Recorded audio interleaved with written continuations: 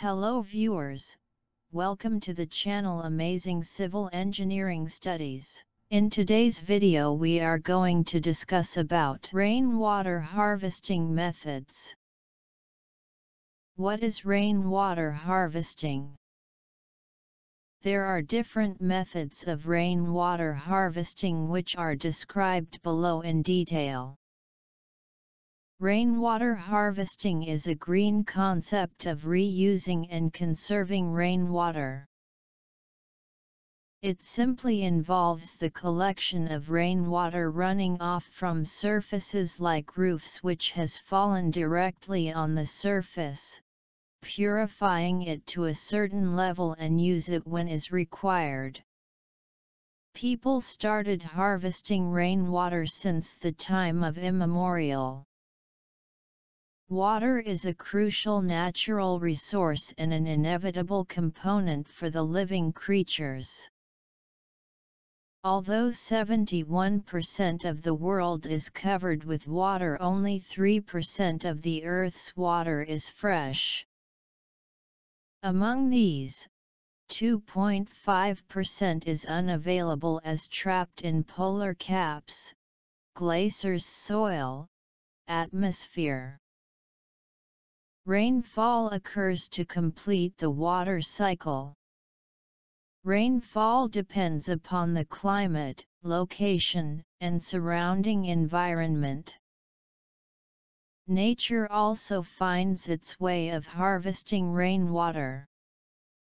Deep landforms such as a pond, lakes act as the storage tank and recharge for groundwater people started collecting rainwater in barrel, pots, and pits for laundry, cleaning, and other domestic use.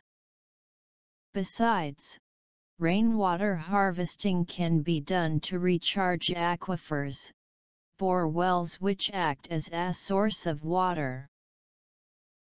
Importance of rainwater harvesting for future it can be used as a water supply system to reduce municipal water usage and bill. It can be a supplement in the case of droughts.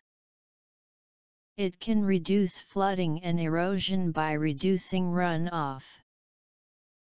It reduces groundwater demand, somehow conserving natural resources. Rainwater harvesting methods Barrel method It is the oldest form of rainwater harvesting. In this method, large buckets like barrel are placed at the downspout to collect water which is later used for domestic and agricultural use. This is a completely manual system, where storage capacity depends upon available barrels. Also, there is a high chance of water being spilled in this system. Dry system This system is similar to barrel methods. But the barrels are replaced by the storage tank placed underground near to the building. In this system water is directed by gutters, passed through pipes, and stored in the tank.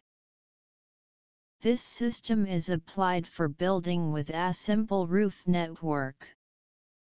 Tanks can be provided with a float valve to indicate when tanks are filled.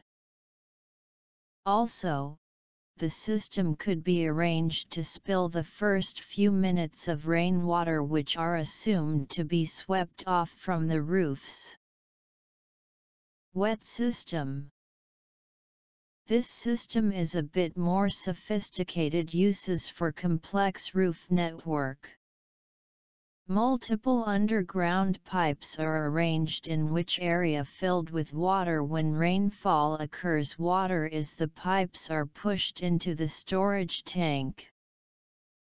Storage tanks are provided with a float valve to prevent spill off of the water.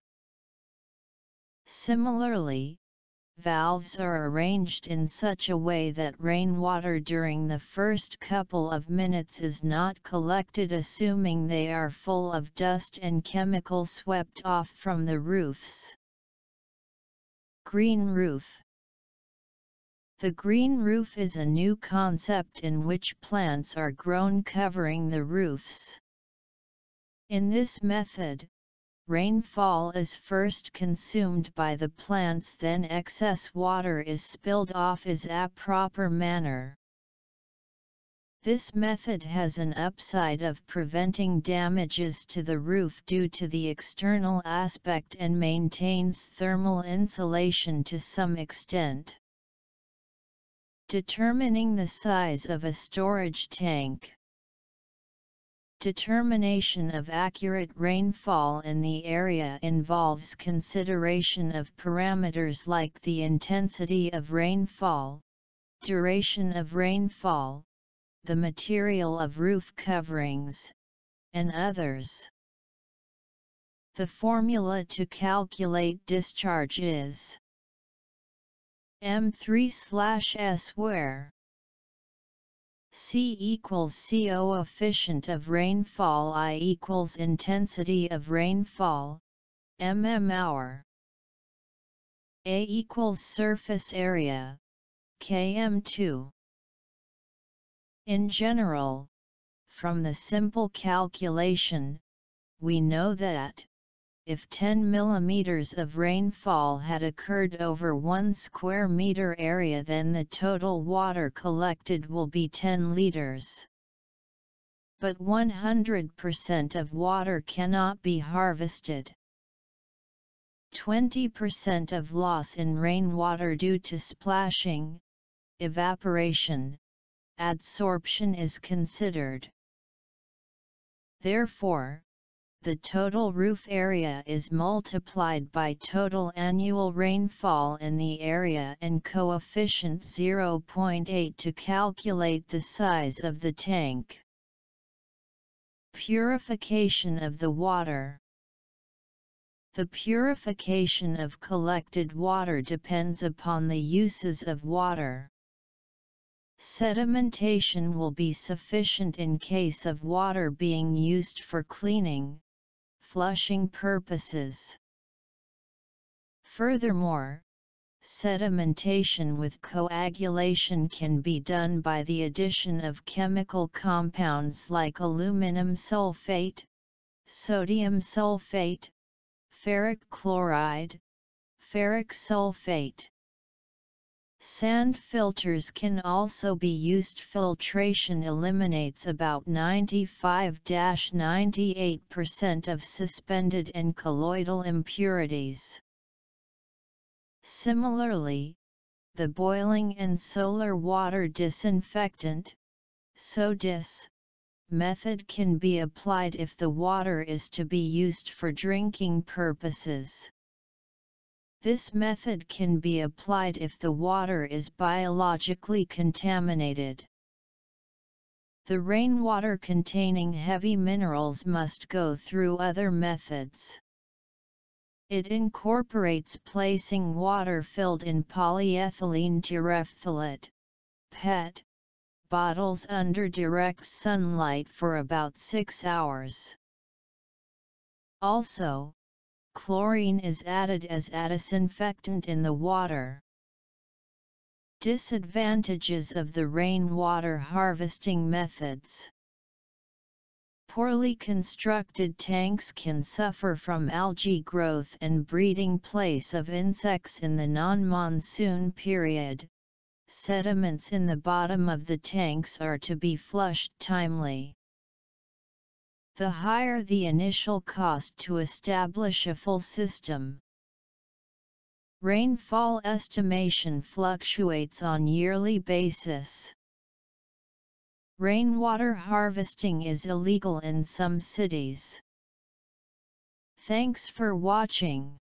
For now, please subscribe, like, share and do not forget to press bell icon.